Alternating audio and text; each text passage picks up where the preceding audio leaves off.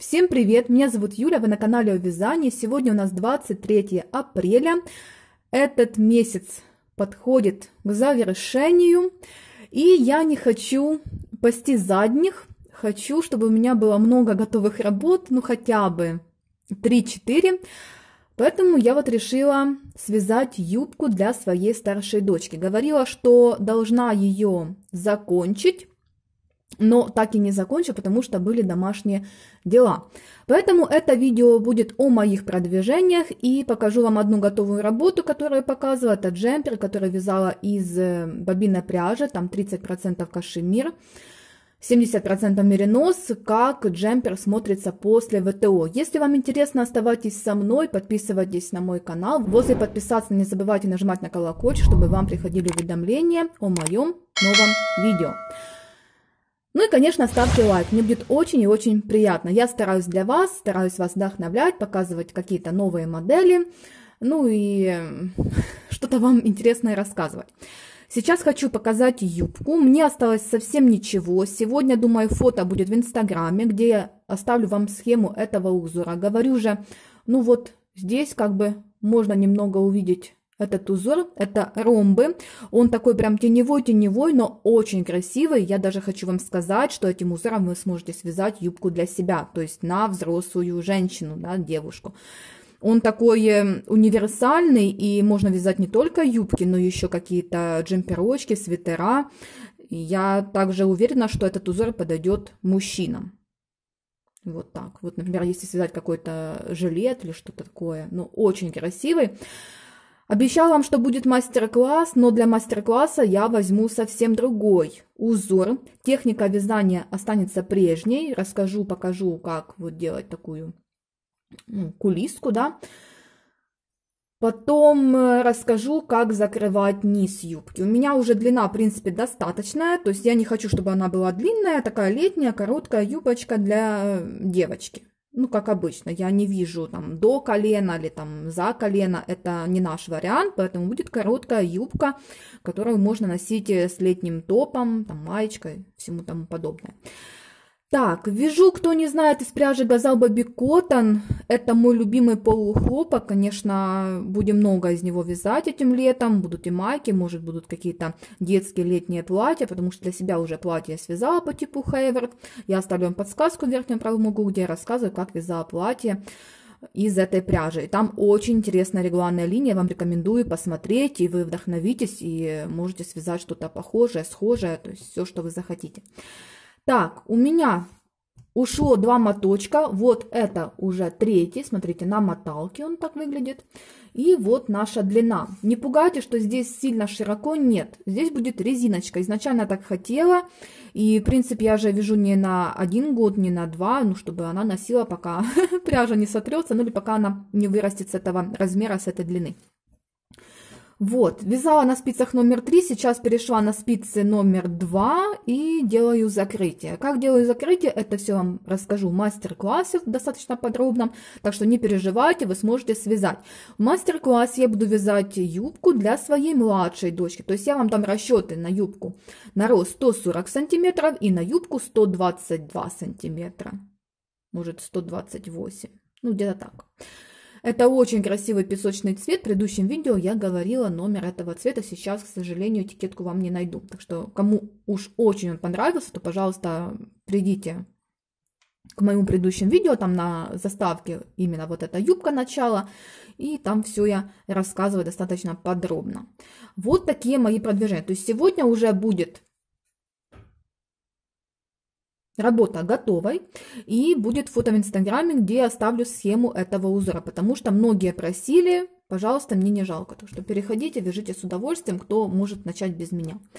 Так, дальше я хочу показать кардиган, который я тоже немало провязала. Так, пусть так вот все будет. Так, это кардиган малина, который я вяжу на размер 48.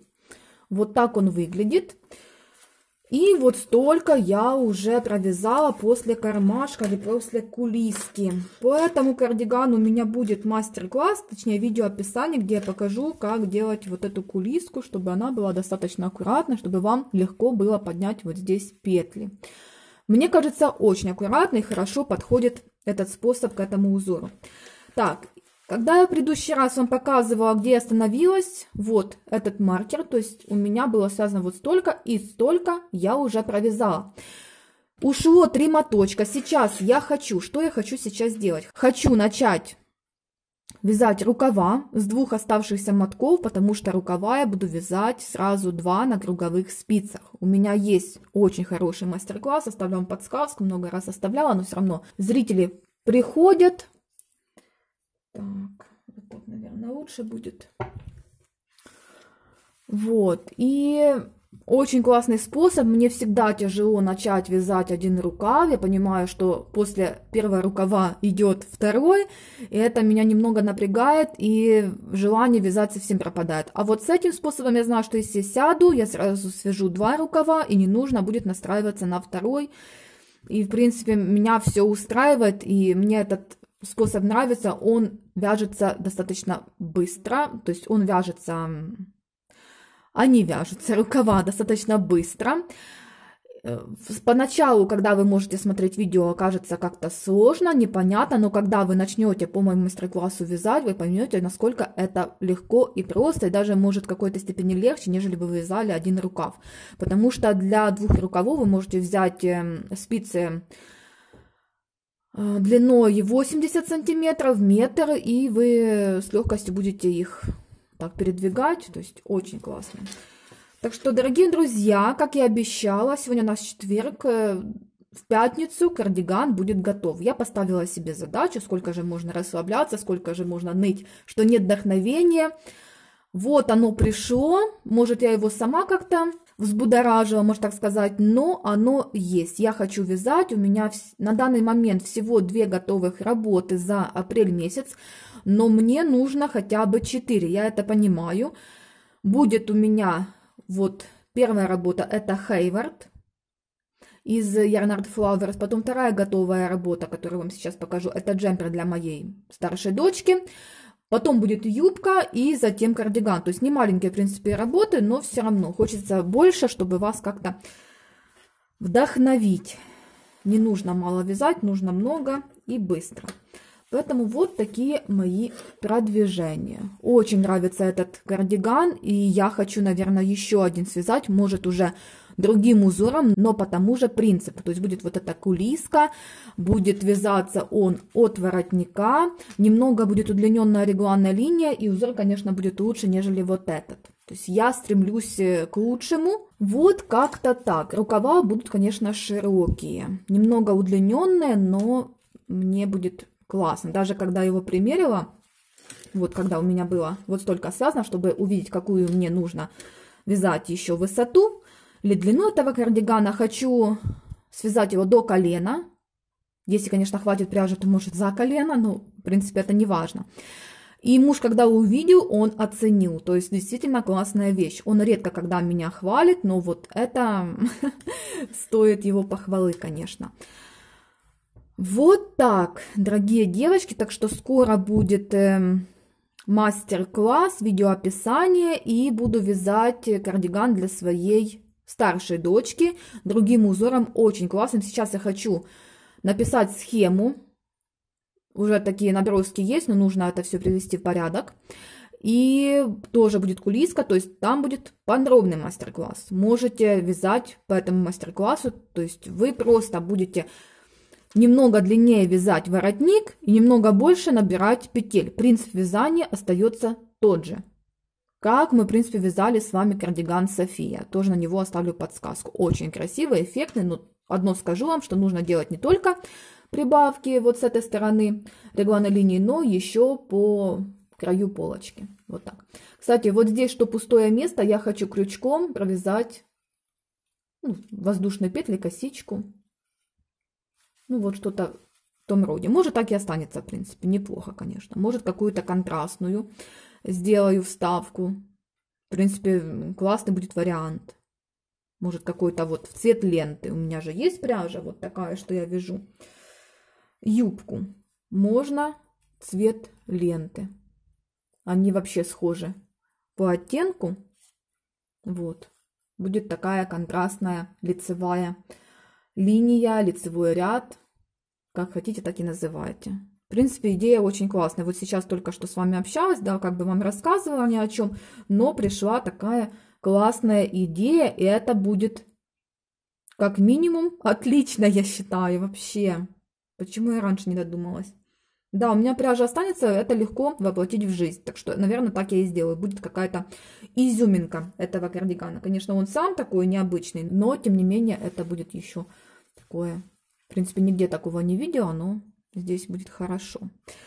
Вот так, дорогие друзья. Дальше покажу вам джемпер, который я постирала. Вязала из бобинной пряжи для своей старшей дочки. Вот, он такой приятный, он такой классный. Я даже вам не могу передать словами. Это нежность, это такая воздушность, мягкость. Как смотрится узор, петли все стали на свои места.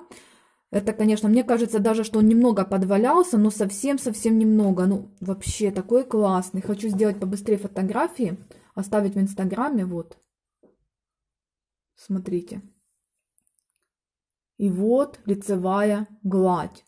То есть петли настолько ровные, если у вас есть рядность, то вам нужно попробовать вязать из бобинной пряжи. То есть это очень и очень классно. Вот мои рукавчики, все вот настолько приятное, насколько все ровное. Я, конечно, в большом-большом восторге. Вот, смотрите. Все ровненько, все аккуратно. И будет очень-очень тепло, я в этом уверена. Хочу спрятать кончики, не переживайте, что они еще не спрятаны, просто он сегодня утром только высох. Спрячу, и дочка будет носить его с большим удовольствием. Под джинсы, я считаю, отличный вариант. Да, вот так. И покажу вам спинку. Вот. Очень классно. Если у меня будет возможность, то я еще закажу вот эту пряжу, но после карантина. И свяжу, наверное, младшей дочке и хочу связать мужу свитер. Может, еще и старшей доченьке свяжу дабы был какой-то яркий цвет, такой более девчачий. Ну, это я хотела, чтобы был универсальный свитер, такой базовый. Гардероб ей создать. Ну вот, в принципе, так как-то. Я очень, конечно, довольна этой работой. Прям это того стоило.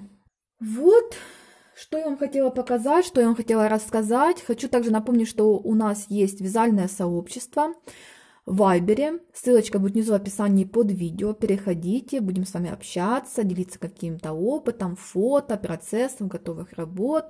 То есть я этого ничего не против, хочу, чтобы девочки общались. Дальше. Жду вас в Инстаграме. Ссылочка тоже будет внизу в описании под видео. Я сменила название аккаунта, не пугайтесь, все нормально.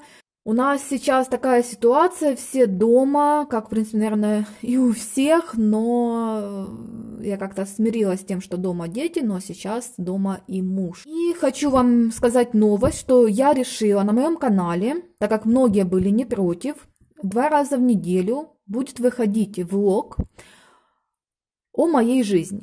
То есть там будет присутствовать вязание, но не в полной мере, как вы привыкли.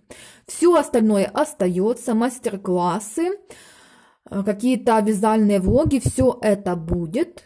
Просто если вам не захочется смотреть мой влог о жизни, вы просто это видео не смотрите. Не отписывайтесь ни в коем случае от моего канала, вы остаетесь со мной, мы с вами вяжем. Просто я хочу, чтобы чаще выходили видео, есть такая возможность, и хочу как-то разнообразить свой канал. Как будет дальше, я не знаю. Если вдруг там видео не будет набирать тысячу, две тысячи просмотров, все, я прекращу, больше не буду снимать их. Будет только-только вязание. Но я хочу с вами знакомиться ближе, чтобы вы меня узнавали. В принципе, может, я кому-то интересна не только как вязальщица, но еще как человек. На этом буду прощаться. Желаю вам хорошего настроения. Пишите ваши комментарии, задавайте ваши вопросы. Пишите, что вы вяжете, что вы закончили вязать, сколько работ в этом месяце готовых у вас. Мне это все очень и очень интересно. Думаю, что в скором времени на Инстаграме будет прямой эфир. Но сейчас его сложнее делать. Может, где-то после 9 буду выходить к вам. Ну а днем это невозможно. Невозможно. Днем вяжу, готовлю кушать, убираю. Вся прям такая занятая. Помните, что вас люблю, ценю. И всем пока-пока.